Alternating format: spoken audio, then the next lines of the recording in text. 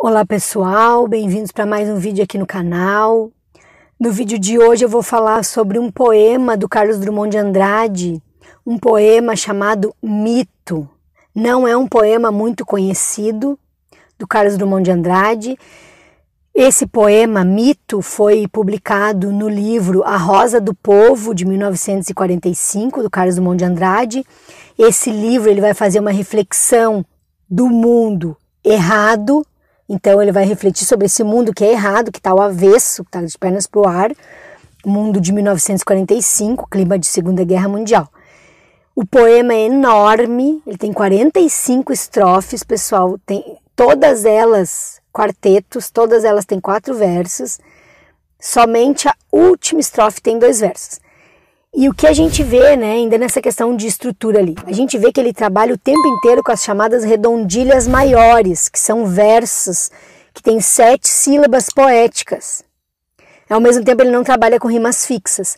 Mas, gente, essa característica dessa questão das redondilhas ali maiores é uma característica da poesia medieval. Esse estilo de poesia era um estilo muito utilizado na Idade Média. E aí o que, que a gente percebe? A gente percebe que o Carlos Drummond de Andrade, que é um poeta moderno, vai escrever esse poema Mito, publicar em 1945, e ele vai misturar então. Ele vai misturar a questão do moderno com o clássico.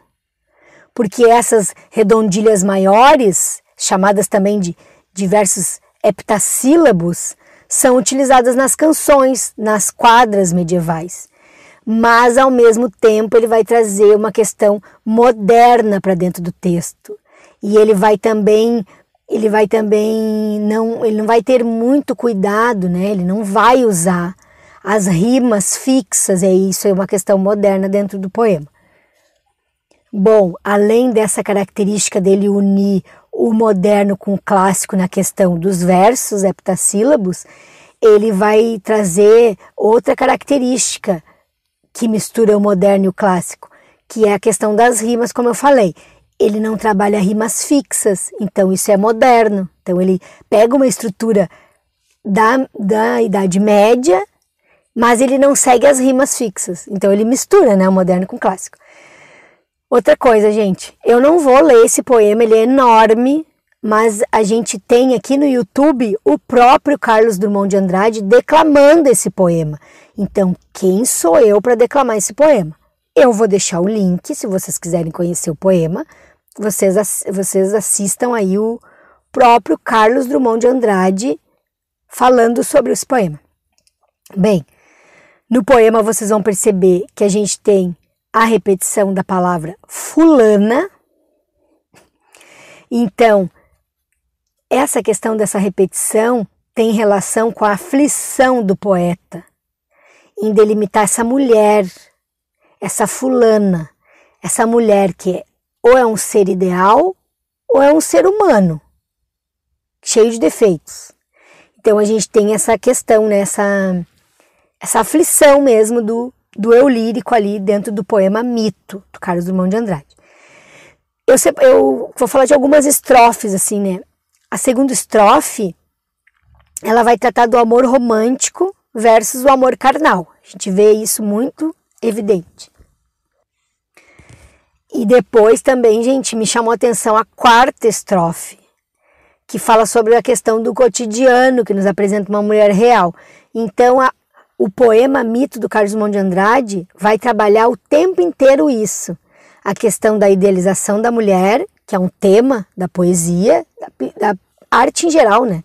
Mas da poesia nesse caso, e também a, a, a, oposição, né? Da mulher real, então a mulher idealizada e a mulher real. É o tempo inteiro essa, essa questão sendo trabalhada no poema. E as últimas estrofes também me chamaram a atenção. É, fala né, que é uma, uma dama de alta.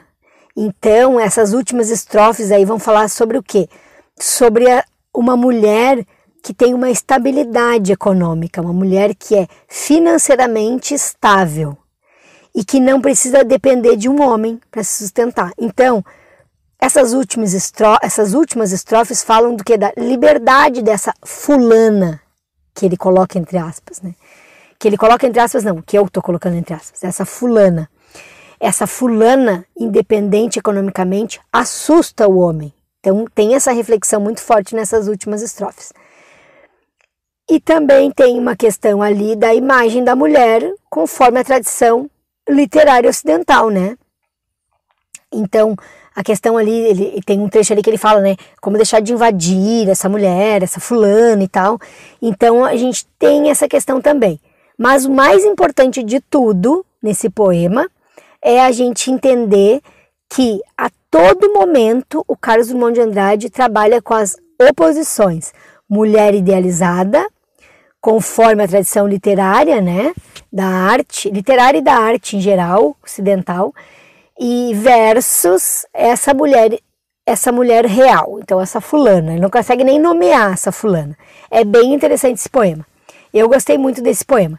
Então, gente, eu vou parando por aqui. Antes eu quero agradecer a Larissa, que foi quem me sugeriu esse tema para esse poema, e agradecer quem ficou até o final do vídeo. Se gostaram do vídeo, curtam o vídeo. Se tiverem algum comentário, escrevam aí embaixo.